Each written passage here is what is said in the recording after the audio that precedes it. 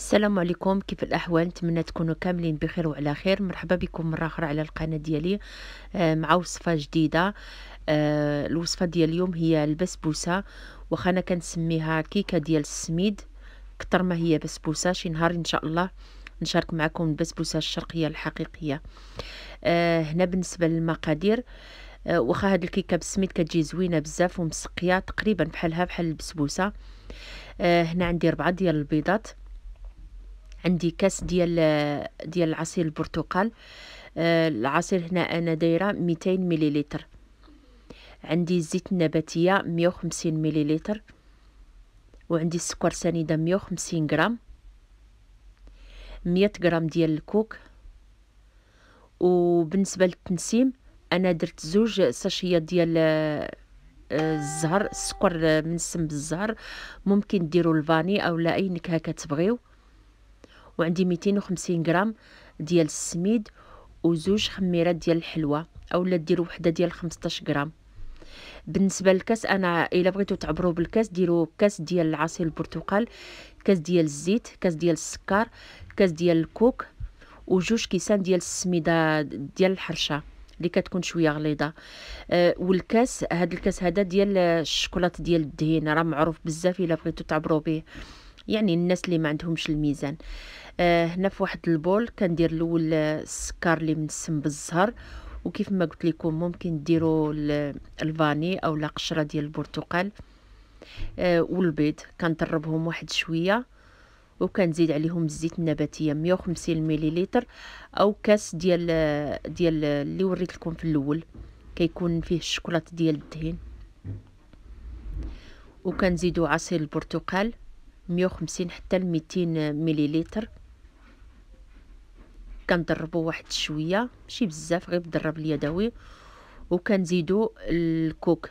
الكوك هنا كاس بحال اللي عبرت به بعد السوائل غير هو خفيف كيعطي 100 غرام. كنخلطو واحد شوية.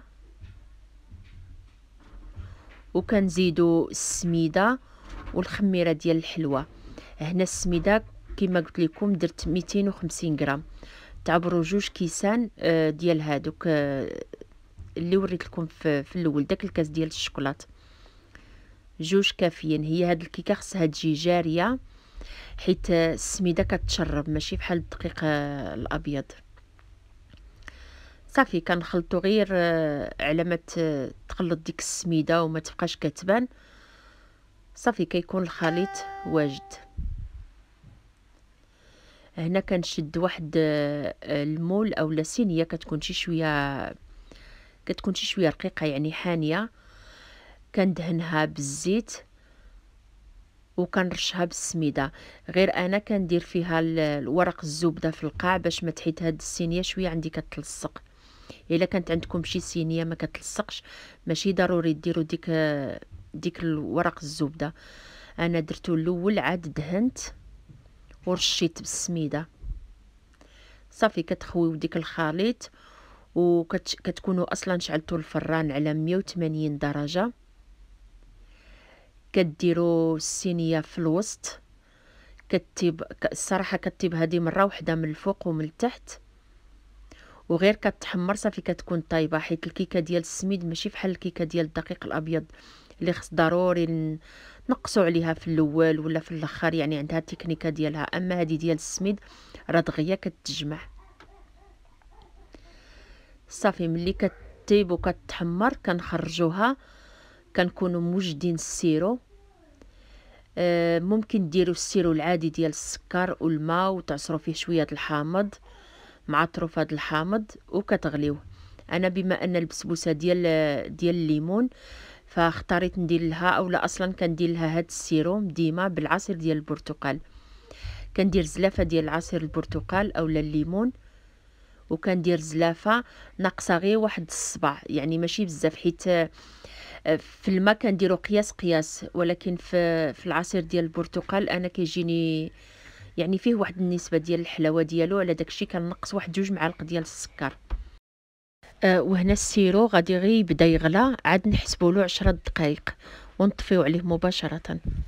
من بعد ما كطيب البسبوسة ها هي كتجي محمرة. أنا غادي نقلبها على وجهها عاد نسقيها.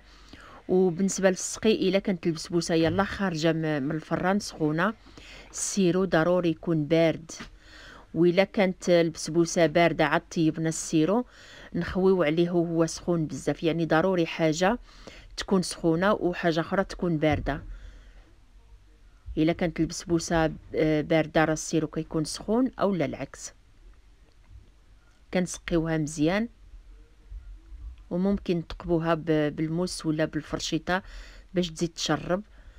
وأنا زينتها بالكوك والقشور ديال الليمون مع السلين. الصراحة كتجي زوينة بزاف وخفيفة على الكيكة العادية. ممكن تسميوها كيكه السميد أو بسبوسه كيف ما بغيتو. كتجي زوينة الصراحة نتمنى تجربوها ونتمنى تعجبكم.